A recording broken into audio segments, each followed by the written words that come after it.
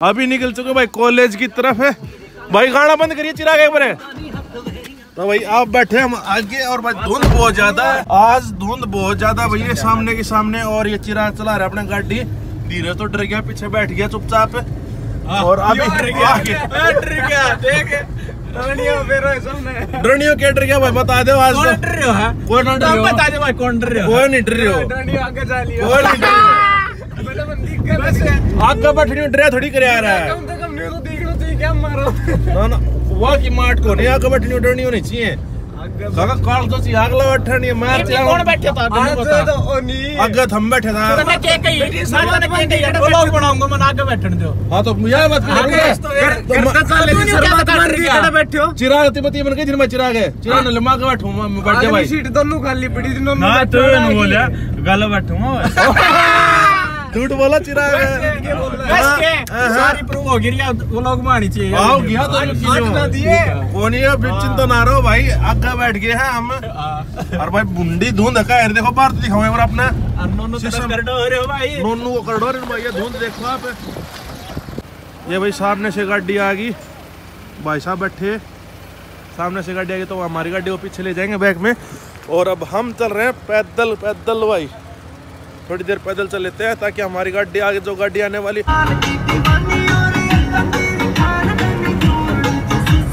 अभी बामड़ा आ चुके हैं भाई और गाड़ी ड्राइव करेंगे अब हम। और चिराग और सामान लेने गए हुए हैं। कुछ पान से खाने का सामान लेने गए हुए हैं भाई। क्योंकि आज पेपर थोड़ा लेंथी है तो कुछ खा के भी नहीं आए घर से। इसलिए आज धुंध ज़्यादा थी, इसलिए जल्दी चलना चलना पड़ा। यहाँ पे कुछ खा लेंगे तो अभी अपना डायलॉग बोल देते हैं। Hello guys welcome back to our YouTube channel this is Neeraj Sangwan और आप लोग कैसे हो? कमेंट करके बताना। मैं बिल्कुल बढ़िया भाई। चलो, मिलते हैं थोड़ी देर में। कॉलेज पहुँच चुके हैं भाई। ये कॉलेज आप लोगों को दिख तो नहीं रहा अंधेरा अंधेरा नहीं, धुंध है। तेरा बिट्स ला कॉलेज की तरफ़ फिर से हमारी गाड़ी और वेंटो ये खड़ी भाई। इसी के सामने आज फिर से ला देंगे गाड़ी हमारी। आज पर हमारी जगह भाई अल्टो लेगी। तो कोई नहीं हमारी जगह तो यही होती है। ला दी भाई गाड़ी। और अब धीरे दौड़ जाएँगे चिराग द्वारा पेपर देने के लिए। तो पीछे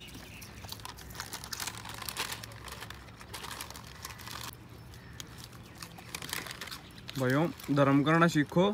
बेजुबान जानवर को कुछ ना कुछ खिलाया करो। जैसे कि हमारे नोनू जी। भैया हमें पता नहीं था यहाँ पे डॉगी है। तो ये- तो हम बिस्कुट लेके आते इसके लिए स्पेशल ये ये कुतिया इसलिए स्पेशल खाने पीने के लिए गुफा पार करके आई है। यही है वो पांडु नाम की कुतिया ये पब्लिसिटी नहीं थी भाई, सिर्फ़ और सिर्फ़ आप लोगों को एक मैसेज देना चाह रहे थे कि हम, आप लोग भी ऐसा कुछ कर सकते हो। तो भाई, अभी चलते हैं इनके साथ पेपर देने के लिए अंदर। तो हम तो वापस अपनी छत पर जाके बैठ जाएँगे आराम से। और ये पेपर दिया है, आराम से धीरज तो गया अंदर। और अब हम भी जा रहे हैं भाई। अभी छत पे आ चुके हैं भाई, ये विकास रहा ये सार्थक छज्जे पे खड़ा है। और आते ही देखे भाई, हमने यहाँ पे आग लग गई। तो कोई है या किसी ने लगाई है? आग लग गई भाई जब ये यहाँ पे वो, फायर ब्रिगेड के पास फ़ोन कराया था। ये आग लग गई भाई यहाँ पे जो कि आपको धुआँ दिख रहा अभी तो हल्का हल्का है इस पे पानी डाल देंगे हम ही नीचे जाके नीचे जाके हम तो सोच रहे थे यहाँ पे थ्री इडियट फ़िल्म शूट करेंगे दोबारा से एक बार। कूदने की कोशिश आज आग लग गई आज सार्थक कूदने की कोशिश कर रहा था यहाँ से। ऐसा क्या दुख लग गया भाई तेरे को जो कूदना पड़ रहा ऊपर से? मेरा पेट दुखा है। तो भाई सार्थक का दुख रहा पेट। भाई जब चोट भी लगी है। दर्द सहन नहीं हो रहा है। ये चप्पल तो चिंटवाड़ी मार लिया है तू। चप्पल भाई अब चोट लगी थी वो चप्पल पहनी नहीं जा रही कमेंट तो आया था मेरे पास मतलब लाइव फेस टू फेस क्या? वो बोल रहे थे कि हिंदी ज़्यादा बोलते हरियाणवी में शूट किया करो वो लोग। हरियाणवी में यार मतलब ऑडियंस थोड़ी वो बाहर की भी है मेरी। हरियाणा ऑडियंस बार की भी है तो थोड़े बहुत सिखाओ उनको भी। हाँ तो कुछ हरियाणवी कल्चर सिखाया जाए। हाँ तो अभी मैक्सिमम वो लोग में आ जाता है ना हरियाणवी कल्चर अपना। मैक्सिमम कवर कर लेते हैं ये भी नीचे। रुमाल दिख निकल रहा है तो कोई नहीं थोड़ी देर में हो जाएगा। थोड़ी देर में हो जाएगा अपने आप बंद भाई है। तो अभी थोड़ी देर बैठ के आराम से वेट करते हैं कब तक वो पेपर देते हैं। और ये साथ अभी वापिस आ चुका भाई कूद के। इसके पैर के लगी हुई है ये उछल कूद में कमी नहीं छोड़ रहा फिर भी। चाची जी वो लोग देख रहे हो तो देख लो भाई। आज तो भाई कॉलेज में धुआँ ही धुआँ कर दिया ये देखो आप। ये फ़ोटो शूट चल रहा है। पंडित जी इसकी फ़ोटो ले रहा है। और ये देखो भाई सारा धुआँ धुआँ अब लगता है आग लग गई। भयंकर रूप भी जब तक ये विशाल रूप धारण नहीं कर लेती तब तक पानी नहीं डालेंगे फायर ब्रिगेड के पास फ़ोन नहीं करेंगे जब तक हम भाई। तो पूरे कॉलेज नहीं लग जाती है भाई। सारे कॉलेज में आग लगने की वेट कर रहे हैं अब हम। भाई इधर से उधर जाएँगे ना तो एक एक सौ अठासी किलो का विशाल बंजर भी पड़ा है। किसी को लकड़ियों की ज़रूरत हो तो वहाँ से लेके आ सकते हो। अभी एग्ज़ाम हो गया भाई इनका खत्म और अभी चलते हैं रॉयल इनफील्ड शोरूम में। क्योंकि उनकी कॉल आई थी तो उन्होंने बुलाया है तो अभी वहाँ पे जाके बताइए क्या काम था। तो धीरज चलेगा ना फिर? अभी चलेंगे धीरज चला रहा है गाड़ी। तो आपने जो पीछे वीडियो देख लिया कि तो हरकत होगी तो भाई देख लेना आप। ये चिराग खड़ा भाई। बैठ ले भाई।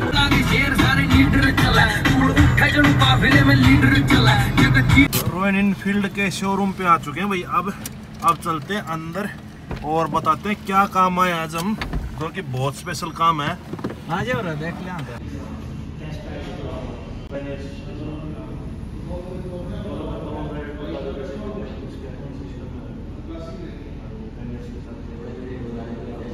एक तो देखो ये हो गया। इंजन गार्ड हो गया।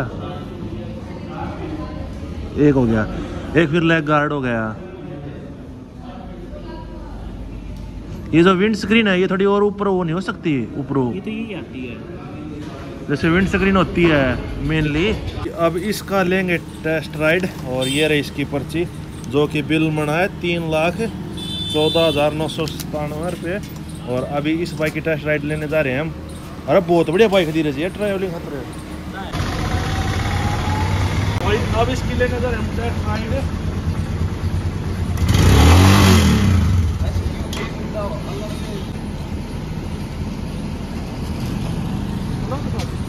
ये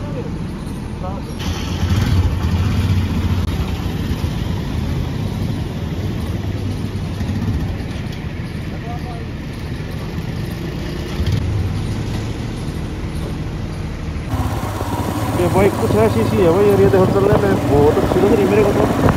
एक नंबर की राइडिंग पोर्शन है भाई बाइक का बिल्कुल लॉन्ग ड्राइव के लिए हम जाएँगे। बहुत दूर दूर तक चला सकते हैं इसको। और अभी शोरूम पे वापस चलते हैं। मुझे बाइक तो मेरे को बहुत पसंद आ गया। अभी घर पे जाके बात करेंगे क्या कुछ रहता है। इसका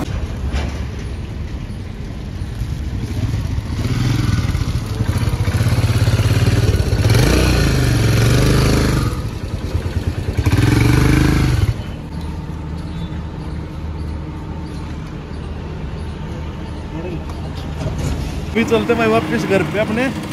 तो बाइक तो भाई बाइक चला के आगे पूरे सवाद एक नंबर की बाइक थी। अच्छा। और आप लोगों को घर पे जाके मैं बताऊँगा कितने कुछ क्या पड़ेगी ऑन रोड सारी चीज़ एक एक चीज़ की डिटेल बताऊँगा मैं।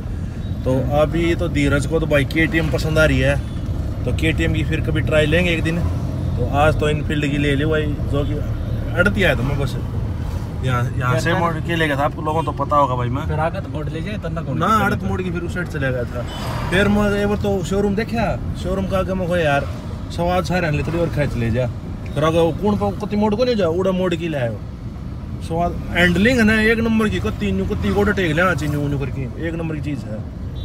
तो अभी भाई कुछ थोड़ा बड़ा खा के और फिर घर पे मिलते हैं फिर बताऊँगा कुछ कितने कुछ क्या पड़ती है। या और- चला गया पर लेन फ़ील्ड का नाटे के लिए कोई गोड्डा ना था। हाँ, अभी घर वालों से।